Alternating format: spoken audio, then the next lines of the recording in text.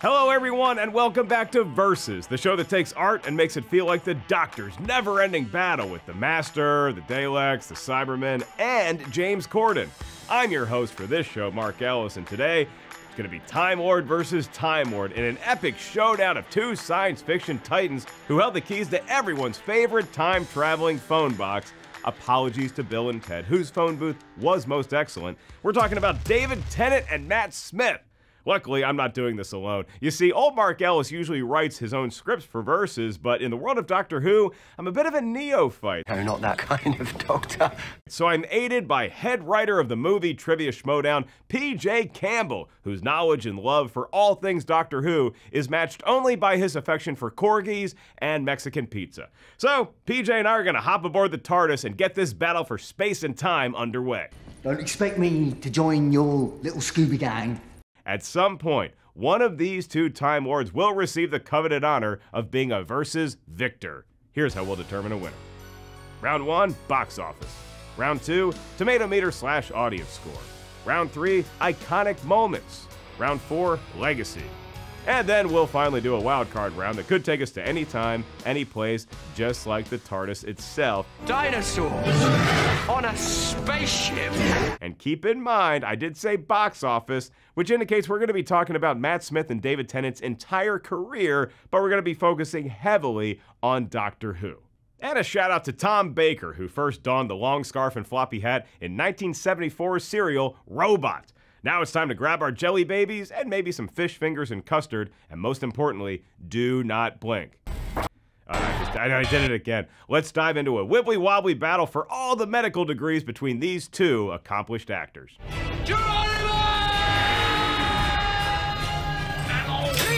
Round one, box office. It's common knowledge that money makes the world go around, so the box office draw of our two titans of science fiction seems like a good place to start. In the first corner, we have Scotland native and the voice of everyone's favorite penny pinching duck Scrooge, David Tennant. Thanks, lad. Born David McDonald before professionally changing his name to avoid confusion with another actor, DT gained notoriety in geek circles in the mid 2000s, appearing in Harry Potter and the Goblet of Fire and Russell T Davies' BBC miniseries Casanova before being cast as the replacement for Christopher Eccleston's Ninth Doctor by showrunner Russell T Davies for season 2 of the newly returned Doctor Who. After a successful three season run on the series and placing himself in the pantheon of all time geek icons, Tennant would go on to appear in such TV shows as Jessica Jones, DuckTales, Around the World in 80 Days, and films like 2011's remake of Fright Night opposite the late, great Anton Yelchin, and the Dean Devlin directed Bad Samaritan. That's not to count the many different stage adaptations of Shakespeare plays, including Hamlet, starring everyone's favorite mutant, Charles Xavier. I'm told that's not his real name, that's actually Sir Patrick Stewart. Next time you feel like showing off, don't. In the other corner, we've got a man who needs very little introduction after being memed across the internet thanks to Morbius. It's Matt Smith. Though Smith originally had his sights set on being a professional footballer, appearing in a stage production of 12 Angry Men would light a fire in him, igniting an affection for acting. After a string of small roles in TV and film, Smith would land the coveted role of the Doctor for outgoing 10th Doctor David Tennant for the show's fifth season in 2010, now to be overseen by Steven Moffat. Matt Smith would be the youngest actor to ever take on the iconic role of Time Lord to that point, playing the character over three seasons before setting his sights on Terminators, Marvel heroes, Queen Elizabeth II, and Edgar Wright, who, by the way, is in a recent episode of Versus, if you want to go check out our back catalog. Enough time for plugs. Now it's time to talk about the TARDIS, because this show really couldn't have survived without David Tennant and Russell T Davies after their iconic run, or the undeniable Matt Smith and maybe making bow ties cool. Yeah, it's cool. Bow ties are cool. Are you from another planet? Yeah. Now, look, I know this is a whole lot to unpack, so just take a deep breath. We're just getting started. First things first. Be honest. How do I look? Now you're probably thinking, hey, Mark, Doctor Who, it's a TV show, not a. Yeah, we know that. I just told you that. These two talents have done quite a bit of entertaining on the big screen as well, and so this round will be determined by who's had the most success when we go to the multiplex. Now, it would be easy to assume that David Tennant is going to run away with this round because he's one of the most recognizable actors to come out of Doctor Who and has had a much longer career to date than Matt Smith. However, Smith has been a part of some pretty big properties in his film going career. I know. In 2008, Matt Smith's first role would come in the dark comedy In Bruges, starring Colin Farrell, though his role was ultimately cut after filming. After finishing his time in the TARDIS, Smith would go on to star in Ryan Gosling's directorial debut, Lost River, as the aptly named villain, Bully. Though the movie was mixed critically and didn't do well at the box office, Matt would start to gain traction for his performance. That would lead to landing another villainous role in the fifth film in the Terminator franchise, in Terminator Genisys. The film only pulled in $440 million at the worldwide box office, which apparently isn't a lot of money, and it killed any traction that led to a next Terminator movie, which was just Dark Fate, another attempt at Terminator 3.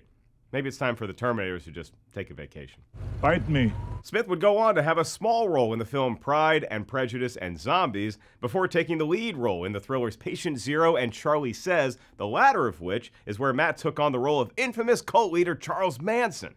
Unfortunately for Smith, his Manson performance would quickly become overshadowed by Tarantino's Once Upon a Time in Hollywood, in which, yeah, Manson would make another appearance. But Matt's career continues to bear fruit, as he would get a role in both Edgar Wright's Last Night in Soho, as well as a Sony adaptation of Marvel's character Morbius, where he played the central villain.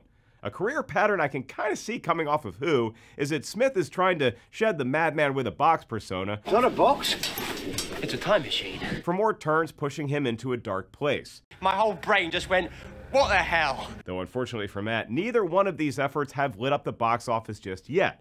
Over Matt Smith's 14 film appearances, his films have still brought in $645 million with an average of $108 million each which is really not too shabby for a Time Lord from Gallifrey, but is it enough to compete with David Tennant? I don't know!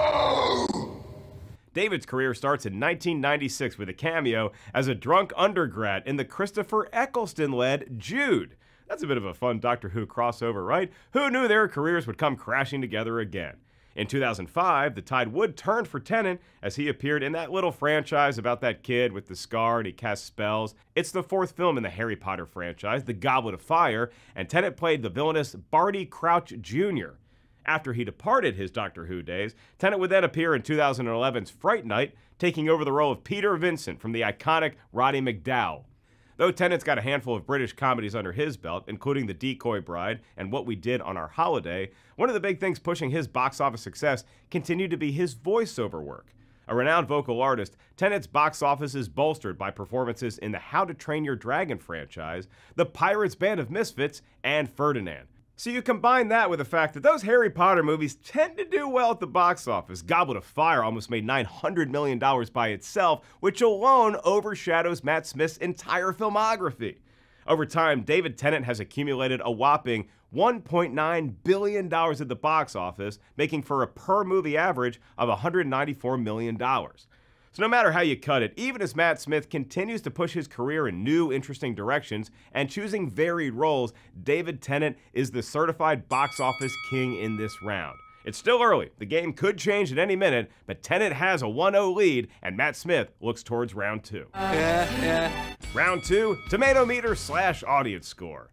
Matt Smith is good at a lot of things, like fighting Daleks and Weeping Angels, but he couldn't quite fell Tennant in our last round. I really hope he doesn't hold that against me because if Doctor Who has taught us anything, we mere mortals on Earth are always in need of saving. And round two might be the best opportunity for Matt to remain competitive in today's proceedings because it's all about what the critics and audiences were saying after they checked out your projects inside and outside of the TARDIS. Stay away, demon. It's a very interesting turning point here, as two famed Time Lords feature deep work in both TV and film. The starting point, of course, should be the wonderful world of Doctor Who, which they each starred in three seasons of. David Tennant from season 2 through 4, under the watchful eyes of Russell T Davies, and all three of his seasons are a whopping 100% certified fresh rating.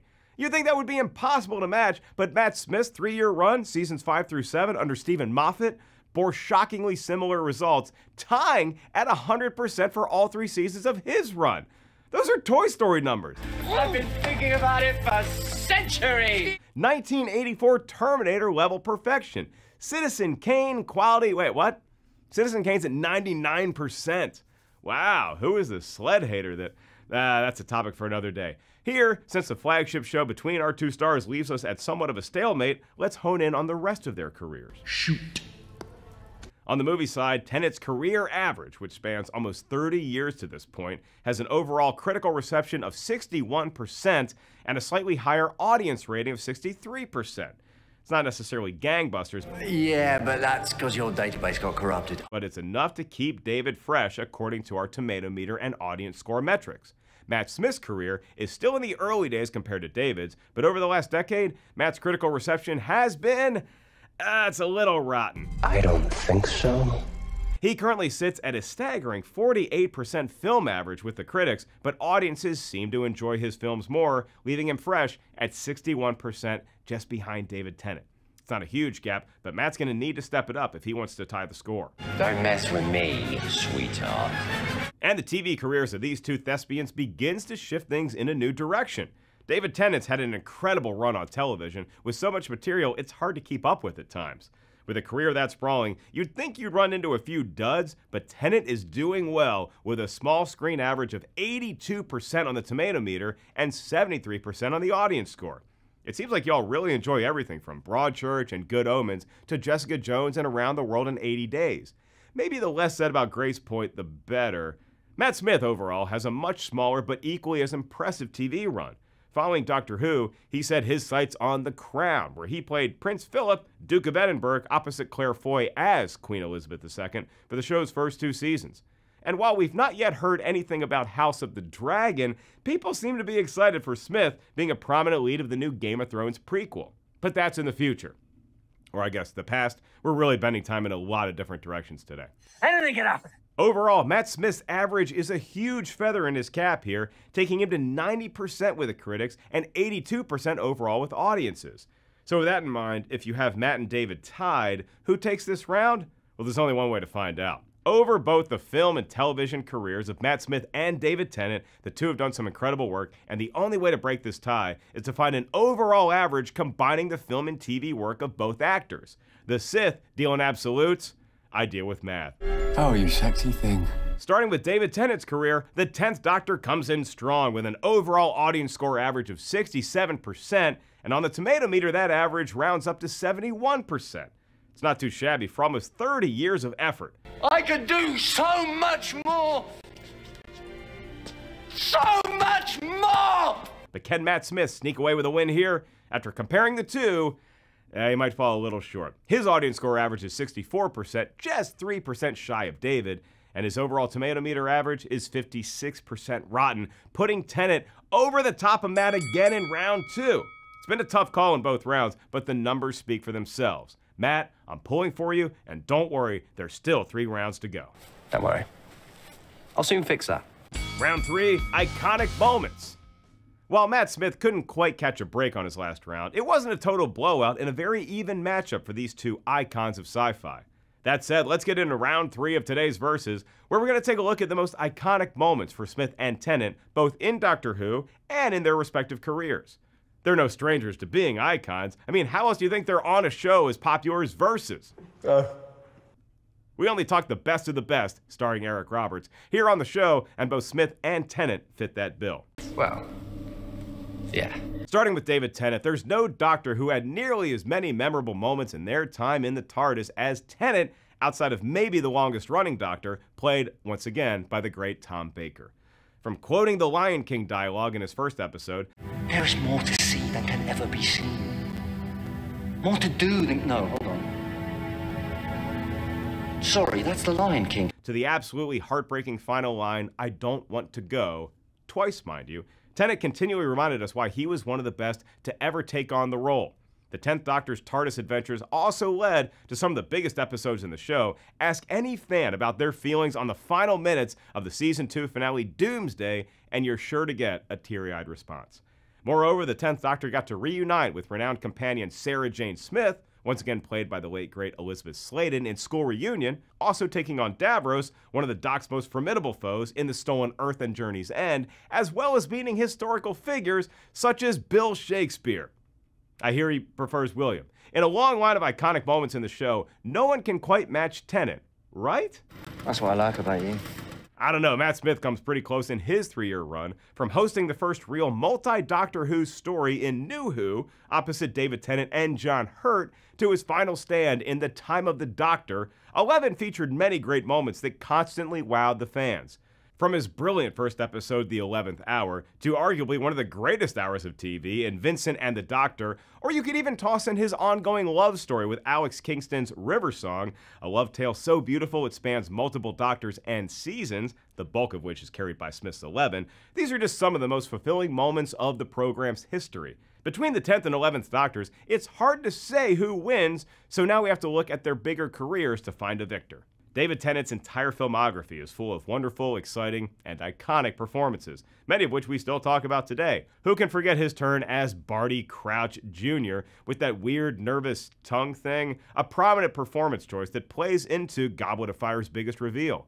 Or where he plays a literal singing detective opposite The Walking Dead's David Morrissey in Blackpool, which is a show you really have to see to believe. But for many younger audiences, David Tennant's most iconic work will come in the form of none other than a popular reference here on the show, Scrooge McDuck in the revival of DuckTales, which lasted three seasons, and they should be 100%. They're not, they should be 100% of the tomato meter. Of course, if we're talking memorable moments, Tennant's turn as the villainous Purple Man, opposite Krysten Ritter in Marvel's Jessica Jones, is constantly touted as one of the best villain presences Marvel's ever had. Can you get the sound of him yelling Jessica out of your brain? Get back here, Jessica! Unfortunately, Matt Smith, man, it's going to be tough to catch a break in this round, too. As awesome as he is for being a meme in his dance sequence in Morbius, what a choice that is. Matt's other performances don't offer nearly as many iconic or standout moments. Sure, he got to appear in a Terminator movie, but he didn't have much to do other than kill John Connor in a blink and you'll miss it sequence before appearing as a CG monstrosity later in the film. The closest thing to iconic outside of Doctor Who we have for Matt Smith comes down to almost appearing in Star Wars Episode 9 before production went in a new direction with the story. So we're left wondering what if instead. However, Matt's work on The Crown was touted as exceptional, so we have to give him a tip of the cap for that, preferably a Stetson. But once again, David Tennant is going to win this round. How great was he in that Fright Night reboot? He stole the entire movie, and now Matt Smith is losing three to nothing. It means he can't technically win the match, but we still have plenty of time to celebrate the greatness that is the 10th and 11th Doctor Who's. That's not possible. Round four, Legacy. And now we enter the final of our four rounds before the wild card, and we're going to be looking at the legacies of both David Tennant and Matt Smith. And again, I know David is up 3 0, but we're still here to celebrate these two and their incredible legacies and impact in and outside of the world of Doctor Who. In the case of Matt Smith, it's early on in his career, and we hope it spans decades, so while he doesn't have as much work behind him as David Tennant, he's still left quite a mark on Doctor Who with his performance.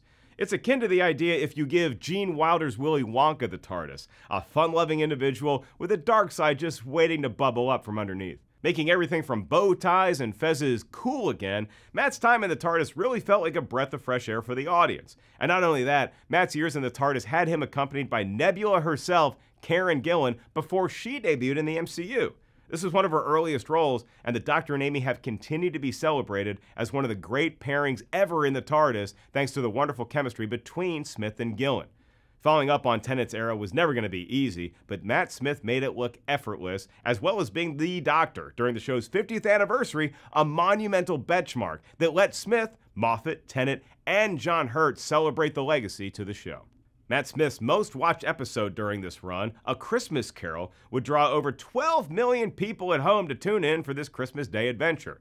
Smith's entire Who catalog would average 7.8 million people watching his series on a weekly basis, a remarkable amount when you consider he was following arguably the most popular Doctor ever in David Tennant, who averaged over 8 million per episode during his run.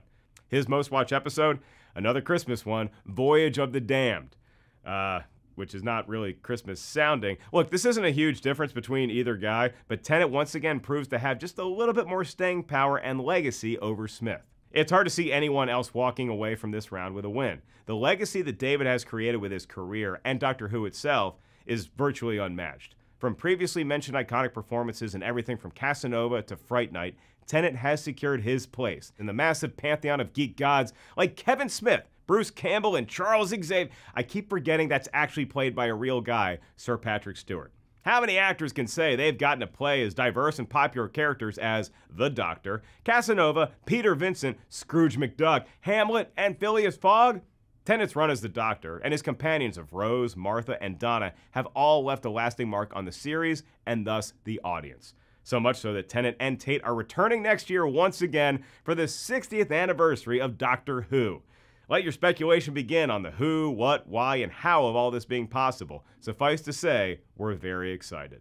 And with that, David Tennant once again scores a handy victory over Smith. It's four to nothing as we head into the wild card. Oh, no, no, no. It's the last category. Tennant's looking for the first ever skunk in the history of Versus, but Matt Smith might have something inside that bow tie. Yeah. No. And now it's time for the wild card round Christmas Spirit. Ah, the wild card is always that. It's freaking wild. And what better way to celebrate that notion than talking about one of the most exciting aspects of Doctor Who itself the Christmas specials? For those new to Doctor Who, like I was last month, every year the series would get in the holiday spirit with a Christmas special that's become a must watch event on the BBC. While many of the episodes were meant to be standalone, they'd also play into the bigger stories of the series, either as a fun epilogue to the season before, or as somewhat of a setup for the next season in the storylines. These episodes were also some of the most interesting and creatively inspired, so how else can we wrap up an epic battle than by pitting Tennant's Christmas specials against Matt Smith's and deciding whose episode featured the most holiday spirit? Tennant's very first one out of the gate, succeeding Christopher Eccleston's Ninth Doctor, was the aptly titled The Christmas Invasion, which saw Tennant mostly knocked out until the episode's third act. One of the better Christmas episodes in his run, this one features rogue killer Christmas trees and evil masked Santas, but outside of that, Christmas doesn't really stand out as important to the story itself. This is actually going to be a recurring theme with David Tennant's specials. As far as The Runaway Bride is, and that's our first episode to feature Catherine Tate and Donna Noble, Christmas is even less important to the proceedings. Similarly, Voyage of the Damned, which is basically Doctor Who's remake of the Poseidon Adventure, is fun, and much like its counterpart, it uses the holiday as a backdrop more than the drama itself. However, Tennant's fourth special, The Next Doctor, feels the most in line with the holiday spirit, though maybe that's just the Victorian era and the snow giving it that Dickensian veneer. David Morrissey as the mysterious Next Doctor is a welcome addition to the series, as is the reunion between he and Tennant following their work on Blackpool, which is a really fun musical mystery series that, again, you gotta watch it, trust me. But Tennant's final Christmas special, The End of Time Part 1, despite being a great story and featuring the return of John Simm as the Master, just again doesn't feel all that Christmas y. David Tennant, try as he might, can't quite finish all the cookies we left out for him, so now Matt Smith has an opening. Can he finally score a point? That would be nice, yes. During Steven Moffat's tenure as showrunner, Matt Smith got four Christmas specials as the 11th Doctor, all of which are really perfect for the holiday season. Moffat infuses every episode of his Christmas specials with the full spirit of the season, starting with Matt's very first outing, the aptly titled A Christmas Carol, which takes a rather unique approach to the classic Charles Dickens novel of the same name. Maybe you've heard of it. This episode is a warm blanket that has become a must watch for any Whovian during Christmas. His next two episodes, The Doctor, the Widow, and the Wardrobe, and The Snowmen, both continue to embrace the season of giving, especially The Snowmen, which would also reintroduce an old school Who villain in The Great Intelligence, as well as Jenna Coleman's Clara, whose impossible girl would become the focus of the next several seasons of the show. Matt's final Christmas episode is The Time of the Doctor, in which the Doctor finds himself stranded in Christmas Town and it's Eleven's final stand against many of his most formidable enemies before regenerating into Peter Capaldi. It's safe to say that Matt Smith, yes, finally gets a victory in the wild card round. Who the man? Oh, I'm never saying that again. Fine. His Christmas episodes feel like they couldn't exist without the holiday spirit and time, making them the quintessential December 25th viewing every single year. Unless your name is Phoebe Cates from Gremlins, you're bound to enjoy the holidays. They get even merrier with a Matt Smith Doctor Who episode. Eleven gets off the schneid, Smith avoids being swept by Tennant, and it's 4 to 1, which still means David Tennant is now officially our winner of today's match. His name, sir, is the Doctor. So, Tennant is Time Lord victorious in this episode of Versus, and even though Matt Smith couldn't quite overtake Tennant, his career is not one to sneeze at, and we're excited for what's next for him. But who am I kidding? Even with all this, it's incredible to see the amount of work these two have put into their respective careers, and thanks to them and this assignment, you can now count me as one of the newer Doctor Who fans. Welcome aboard. Thank you. Now it's your turn, dear viewer. I know y'all love your Doctor Who. Who do you have in this battle for geek supremacy? Are you Team David or Team Matt? Which era of Doctor Who is your favorite? And what's your favorite project from each actor outside of the Doctor Who canon? Hit me up on social media at Mark Ellis Live with your take, and stay tuned right here to Rotten Tomatoes for all the latest in the world of Doctor Who, Matt Smith, David Tennant, and their many upcoming projects. Huge shout out to PJ Campbell for really manning the TARDIS and helping me through this episode. Thank you for tuning in to Versus. I'm Mark Ellis, and remember, kids, if you stumble upon a phone booth, tread lightly. Could be Bill and or Ted's, could be Superman's fitting room, or it just might be that magical TARDIS. Of course, if you have a real doctor, I hope they own a cell phone. So long!